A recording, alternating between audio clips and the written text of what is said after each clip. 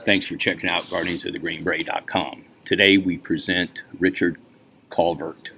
He was sent to us about a year ago and somehow got put off to the side. Uh, he claims Green Beret in Vietnam and 54 combat jumps. That's correct, 54 combat jumps. Turns out he was a cook and a file clerk that never set foot in Vietnam. But watch the video and then you could see the data we have on them at our website, guardiansofthegreenberet.com. Thanks. I was born in 1950, grew up mostly in Sacramento, California.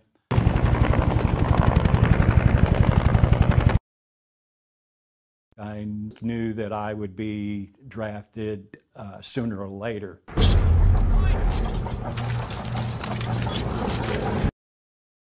So I chose to enlist so I could get a, uh, a position that I wanted.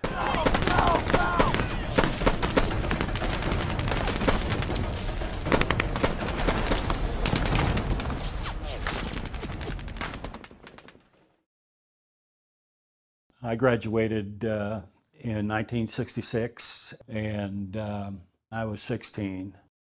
Three days after I was 17, I uh, decided I was going to join the military.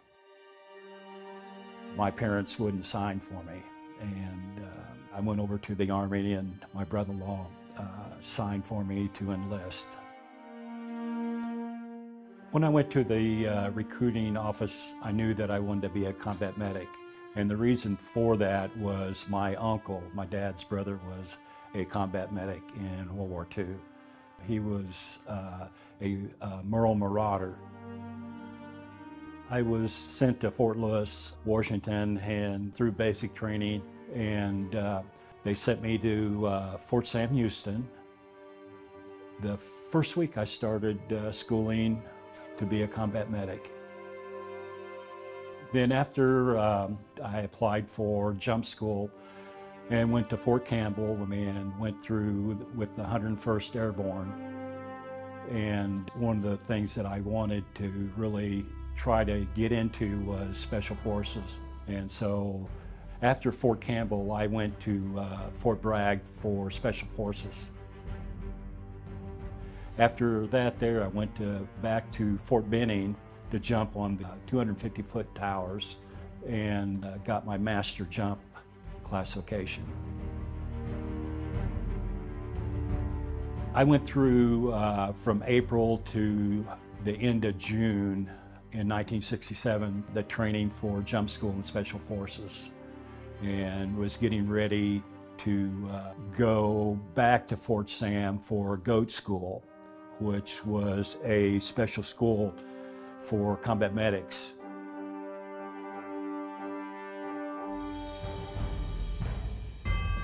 I applied for Vietnam. I volunteered. So I landed in uh, Vietnam in December of 1967. When I got there, I was waiting uh, to be attached to some company. So I worked at the hospital in Saigon, the 44th uh, Medical Battalion Hospital, and was there for about three to four weeks, about a month. And then they sent me to the 9th Infantry Division. With the ninth, I was down at the Mekong Delta, which is three corps, and I was there pretty close to almost 13 months. At the Mekong Delta, I uh, cut my leg. I had to go to the field hospital and uh, they sewed my leg up and I was almost at the end of my tour so before they sent me back I re-enlisted and was transferred to a different unit. On my re-enlistment I was attached to the 498th Air Ambulance dust off and I was with them for about three months um, I decided to, I had a chance to transfer, so I transferred to an armor division, and uh, we was at Hill 29, called uh, Hawk Hill.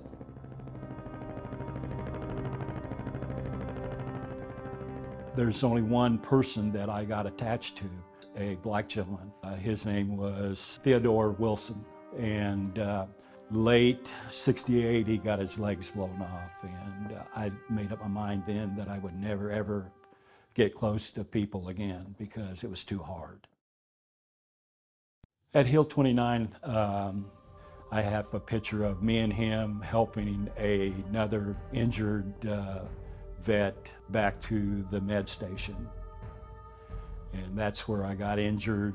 A piece of uh, rocket flak or scrap metal hit me through my left hand, and uh, I was back out in a week there at Hill 29 and got hit in the right hand. So I was transferred. I, I, had been with the 101st Airborne, and this was the 506. And this was uh, 1969, probably somewhere in the middle of April. We started up on Hill 937, which was Hamburger Hill.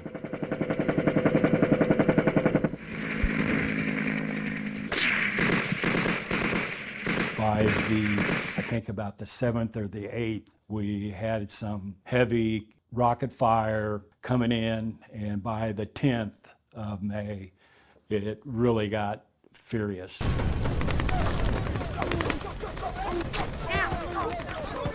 Uh, we'd have to, we couldn't get the men that was injured, we'd have to hand carry him. We couldn't get a, a medevac ship in to get him off the, the mountain. In between the 10th and the 20th, we had a lot of casualties. I think through that 10-day uh, period, we had over 75 killed, a couple hundred, maybe three, 400 injured. There's a picture that a uh, photographer, combat uh, photographer. I don't know why he took a picture of me. The guy had a uh, chest injury. I was uh, giving him uh, normal saline solution to wait to get him down off the mountain. You cannot think about your safety. You think about that individual. That's the oath that you give that you will do what you have to do to bring that person home. Hamburger Hill was the turning point of the Vietnam War to the American people. We fought there for 10 days and then just to walk off that hill and give it back was something that most of us guys didn't understand. If I had to do it over again, I'd do the same thing. Uh, I enjoyed being a combat medic. So after Hamburger Hill, I was uh, transferred and attached to the 15th Medical Battalion in 1970 and was honored to work with a couple of five-man alert teams. Um, we would jump into the north with the 1st Airborne Division of South Vietnam. Early 71, we did a jump and I was doing something that I wasn't supposed to do as a point man, as a combat medic in a five-man team. And lo and behold, uh, I had received three rounds through the right side.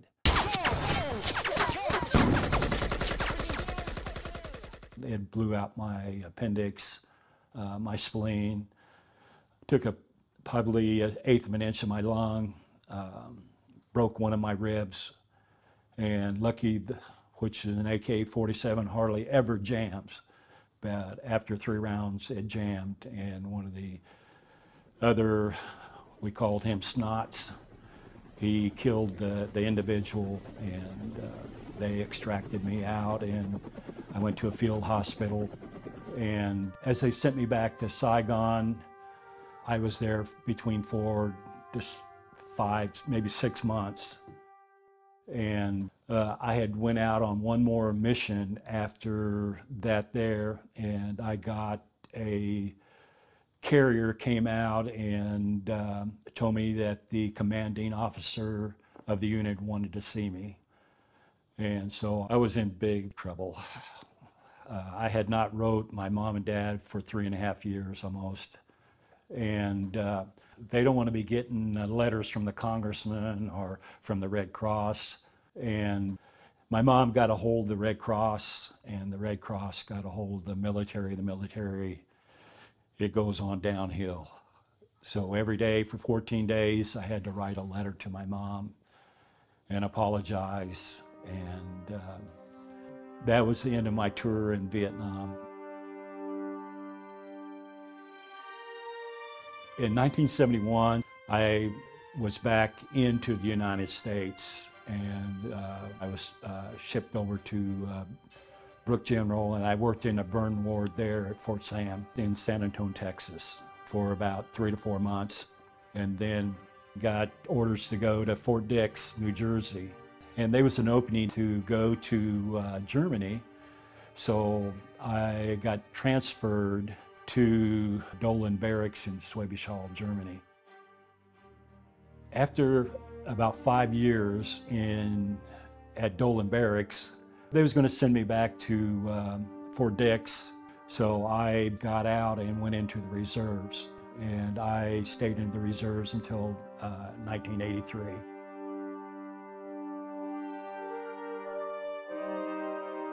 As most veterans come back and get married, they bring back memories of the war, your nightmares or your flashbacks.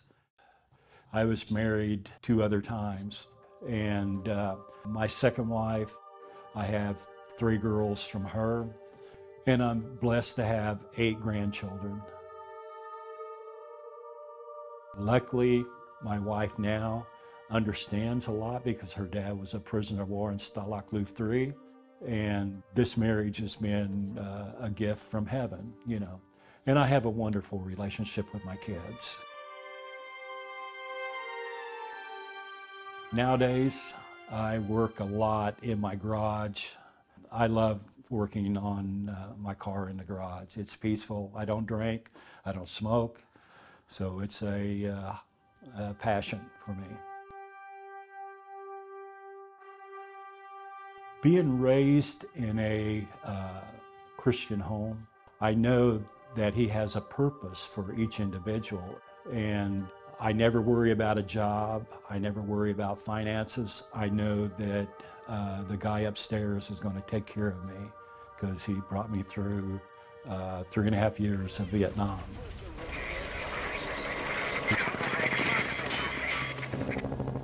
One thing about the Vietnam War is I just figured that uh, everybody needed to be free no matter what. And uh, I have bronze stars and I have silver stars. And I had uh, purple hearts. Uh,